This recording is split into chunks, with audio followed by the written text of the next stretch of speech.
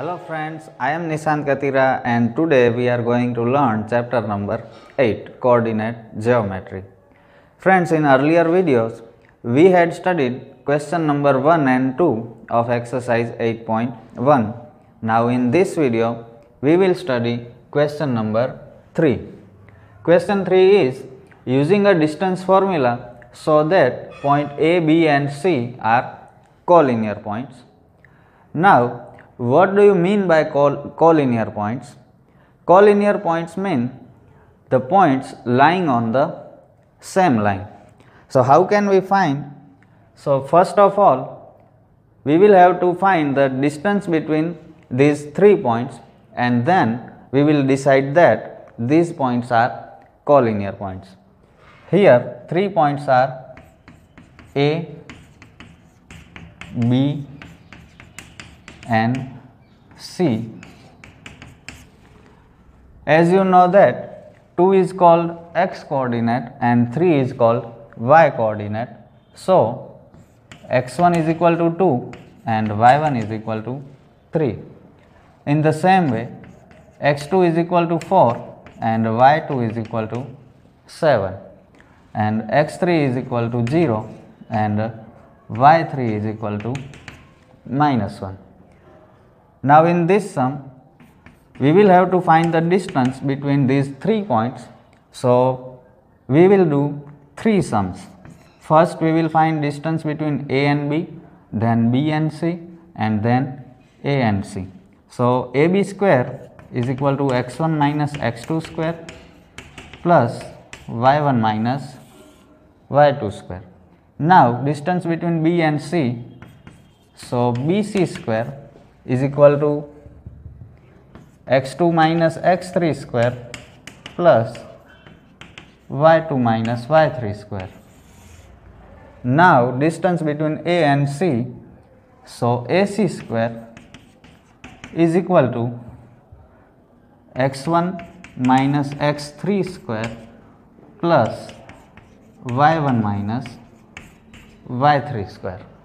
Now let's put the value in this formula. Value of x1 2, x2 is 4 whole bracket square, y1 is 3 and y2 is 7 whole bracket square. 2 minus 4 minus 2 square and 3 minus 7 minus 4 square. Square of minus 2 is plus 4 and square of minus 4 is plus 16. AB square is equal to 20. Now we cannot directly find the root of 20. So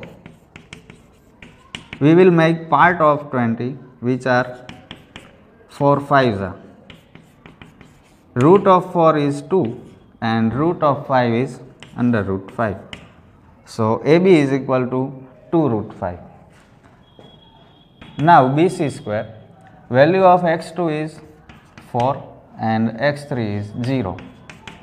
y2 is 7 minus y3 is minus 1.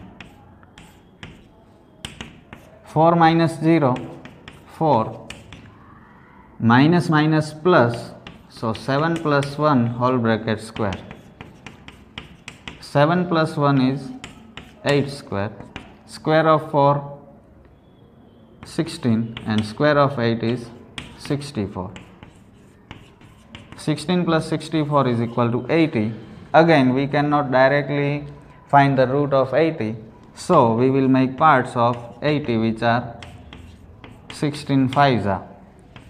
Now root of 16 is 4 and root of 5 is under root 5 so bc is equal to 4 root 5 in the same way let's find ac x1 is 2 and x3 is 0 y1 is 3 and y3 is minus 1 2 minus 0 2 minus minus plus so 3 plus 1 2 square plus 3 plus 1 4 square. Square of 2 4 and square of 4 16 so AC square is equal to 20 now AC 20 means 4 5s are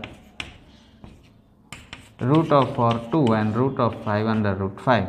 So, AC is equal to 2 root 5.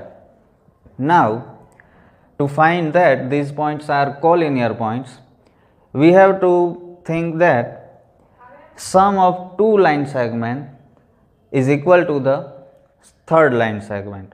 So, here AB plus BC 2 root 5 plus 2 root 5 becomes 4 root 5. So, AB plus AC is equal to BC. Here AB plus AC is equal to BC. If sum of two line segments is equal to third line segment, then we can say that these points are collinear. So, points A, B and C are collinear points. So friends, if you really think that this channel is useful to you, then please subscribe to this channel and learn maths with me in a very easy way. Thank you.